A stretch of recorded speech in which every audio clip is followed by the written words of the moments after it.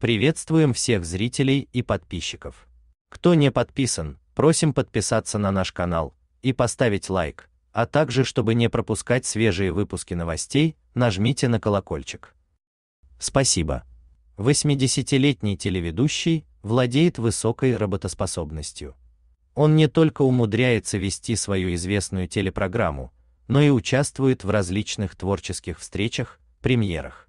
Но в этот раз почитатели обнаружили, что располагается Масляков не в лучшей форме. Он ощутимо исхудал, под глазами у него возникли темные круги, многие уличили, что самочувствие Александра Васильевича шатнулось. На эти слухи ответила жена шоумена. Светлана Маслякова поторопилась всех успокоить. С ее супругом все хорошо, кто такое может рассказывать.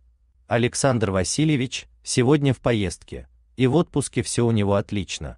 Того и вам желаю, известила супруга телеведущего знаменитой российской юмористические телепрограммы Клуб веселых и находчивых.